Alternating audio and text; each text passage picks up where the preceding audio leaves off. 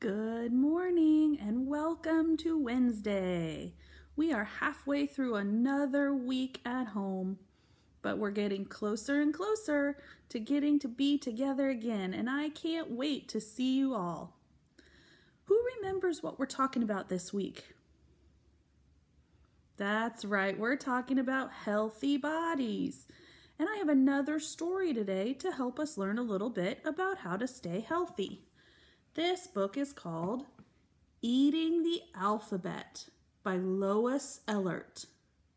It's going to tell us about some healthy foods that we can eat to keep our bodies fueled and happy. Eating the alphabet.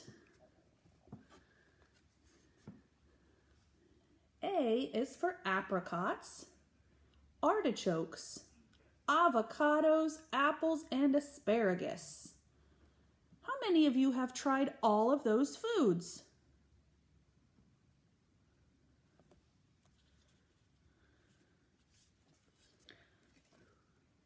B is for beans, beets, blueberries, Brussels sprouts, broccoli, and bananas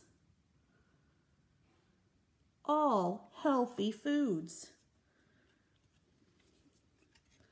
C is for currants, corn, celery, cucumbers, carrots, cherries, cauliflower, and cabbage. Cherries are my favorite kind of fruit.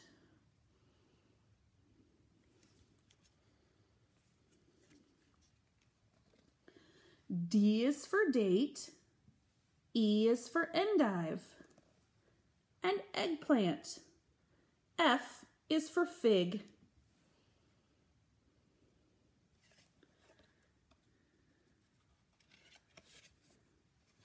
G is for gooseberries, grapefruit, and grapes. H is for huckleberry.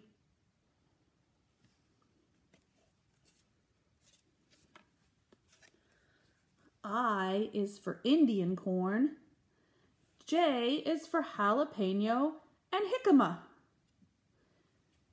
K is for kumquat, kiwi, and kohlrabi. That's a new one.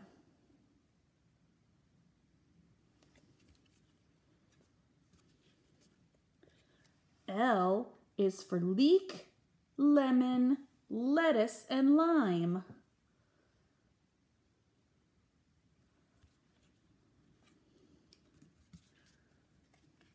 M is for melon and mango. N is for nectarine. O is for orange, onion, and okra.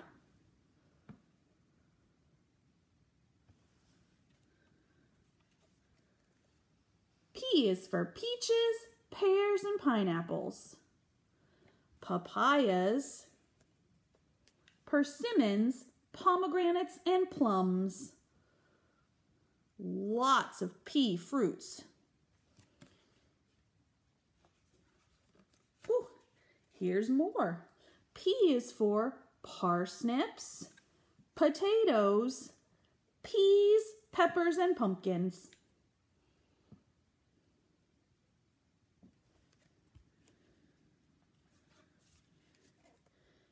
Q is for quince. R is for raspberries, radishes, and rutabaga, rhubarb, and radicchio.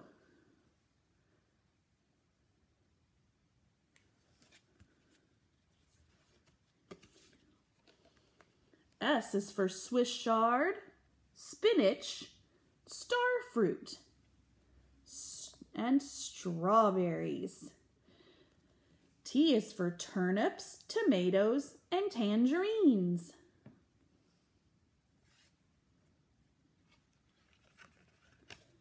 U is for ugli fruit. V is for vegetable marrow. W is for watermelons and watercress.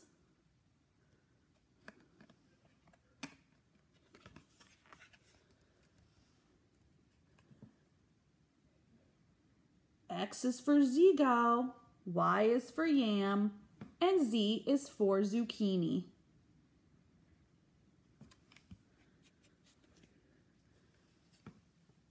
We just saw so many healthy fruits and vegetables. Did you find a new one you might want to try? If you try a new fruit or vegetable, you let me know how it is. I'll see you tomorrow for another story time. Bye, friends.